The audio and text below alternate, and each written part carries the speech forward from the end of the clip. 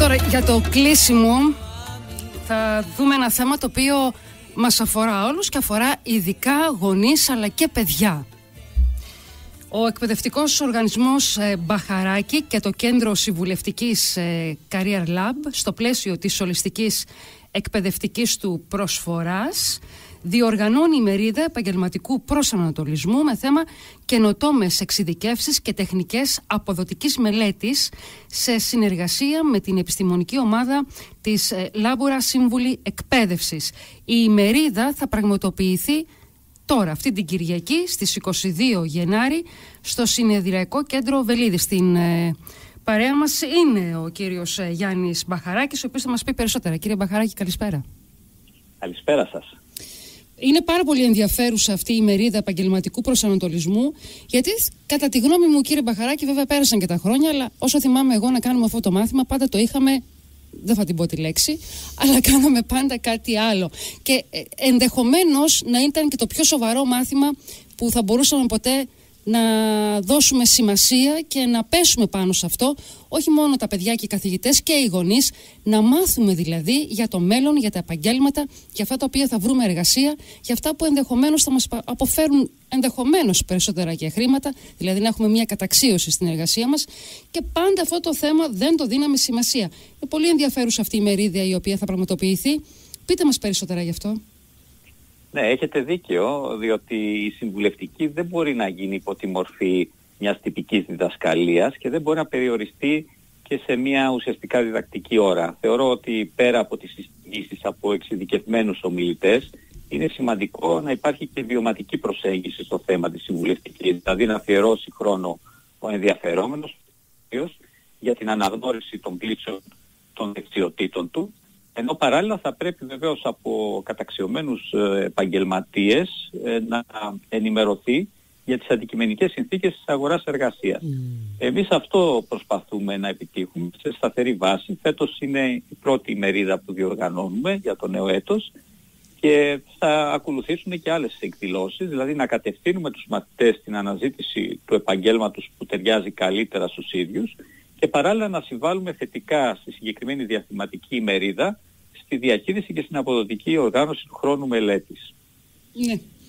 Θέλετε να μας δώσετε μία πρόγευση κύριε Μπαχαράκη όσον αφορά τον επαγγελματικό προσανατολισμό; Ποιες είναι οι τάσεις στην αγορά εργασίας και ποια είναι τα επαγγέλματα τα οποία θα εξασφαλίσουν στους σημερινούς 18άριδες ε, έναν επαγγελματικό βίο όπου θα υπάρχουν και τα απαραίτητα έσοδα για να ζήσει και θα υπάρχουν και οι προοπτικές εξέλιξης.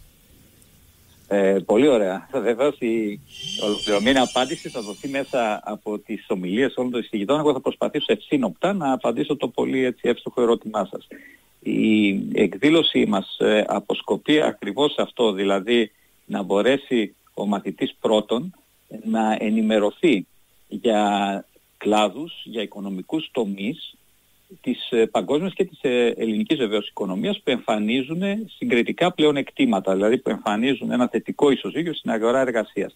Ενδεικτικά να αναφέρω, ε, σίγουρα θα λέγαμε ο τουρισμός, η ναυτιλία, τα logistics, δηλαδή η εφοδιαστική αλυσίδα, οι ανανεώσιμες πηγές ενέργειας και βεβαίως κάθε ένα από αυτούς τους κλάδους και κάθε ένα από αυτό το μεγάλο κομμάτι παραγωγικής δραστηριότητας αγγίζει πολλά επαγγέλματα, που χρειάζεται χρόνος εδώ για να τα αναλύσουμε. Τα δίκτυα μεταφοράς ενέργειας. Τα τελευταία χρόνια γίνεται θέμα και για την εξόριξη ενεργειακών κοιτασμάτων και μεταλλευμάτων. Ο πρωτογενής τομέας πάντα ήταν ισχυρό ε, σημείο ανάσταση στην ελληνική οικονομία. Η γεωργία, η νοπτή ελαιοκομεία, η ήπια μεταποίηση τροφίμων, οι κατασκευές που τα τελευταία χρόνια έχουν πάρει αναδειχθεί σε ατομηχανή της ελληνικής οικονομίας, εξειδικευμένες ενότητες θεματικού τουρισμού, ε, η αξιοποίηση ναι. πολιτισμικής κληρονομιάς. Κύριε Μπαχαράκη. τεχνολογίες δηλαδή δεν τελειώνει. δεν τελειώνει, δεν τελειώνει. Όχι. Κύριε Μπαχαράκη, να σας ρωτήσω τώρα. Εσείς είσαστε μέσα μαζί με τα παιδιά, τα ζείτε, ε, είσαστε και νιώθετε τις αγωνίες κοντά σε αυτά τα παιδιά κάθε φορά.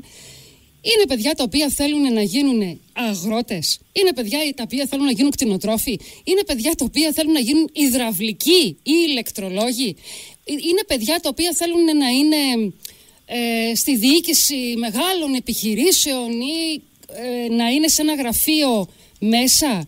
Τι βλέπετε εσείς; Ε, θα σας πω με ειλικρίνεια ότι ναι. τα τελευταία χρόνια υπάρχει μια τάση στροφής και προς τα επαγγέλματα του πρωτογενούς τομέα σε σχέση και με τη γεωπονία, με βιολογικές καλλιέργειες και έχουμε μαθητές μας που τελειώσαν τέτοιες σχολές, δηλαδή πέρα από το παραδοσιακό ιατρική, νομική, πολυτεχνείο, έτσι, το γνωρίζετε που είναι ουσιαστικά σχολές και επιθυμίες εχμής, βλέπουμε ότι ε, ενημερώνεται ο κόσμος, βλέπει εναλλακτικές δυνατότητες, ε, και αξιοποιεί ουσιαστικά και τον κοινωνικό περίγυρο και άλλες δυνατότητες. Δηλαδή υπάρχουν μαθητές οι οποίοι ε, πραγματικά επιλέγουν και σχολές οι οποίες δεν είναι η πρώτη επιλογή.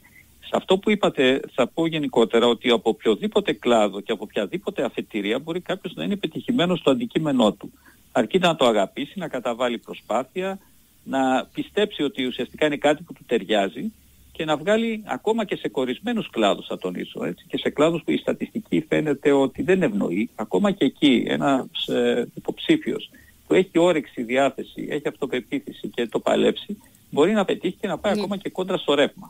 Κύριε Μπαχαράκη, τα παιδιά 18 χρονών είναι έτοιμα να επιλέξουν το επάγγελμά τους; Ε, από την εικόνα που έχουμε, γιατί ασχολούμαστε με χιλιάδες μηχανογραφικά κάθε χρόνο, είναι ένα μικρό ποσοστό κατασταλαγμένων μαθητών, ενώ πολλοί μαθητές ε, αγκαλιάζουν κυρίως τομείς και κλάδους όπως προαναφέραμε. Δηλαδή λέει κάποιος μαθητής με ενδιαφέρει πληροφορική. Αυτό η διέξοδος μπορεί να επιτευχθεί και από το τμήμα ηλεκτρολόγων μηχανικών υπολογιστών μέσω του Πολυτεχνείου, από τα συμβατικά τμήματα πληροφορικής, από κάποιες άλλες σχολές οι οποίες έχουν και εξειδικεύσεις ή μέσω μεταπτυχιακού κλπ.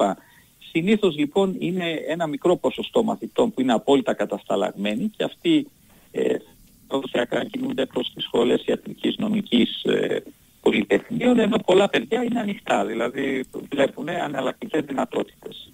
Μάλιστα. Τώρα, να επαναλάβουμε κύριε Μπαχαράκη για ακόμα μια φορά, γιατί είναι πολύ ενδιαφέρουσα αυτή η μερίδα, γιατί στο δεύτερο μέρος της θα έχει και διαχείριση μελέτης και χρήσιμες συμβουλές για μαθητές και γονείς. Μπορεί να τα ακούτε έτσι τη λέξη, τη, τη φράση διαχείριση μελέτης, αλλά είναι πολύ σοβαρό αυτό το θέμα.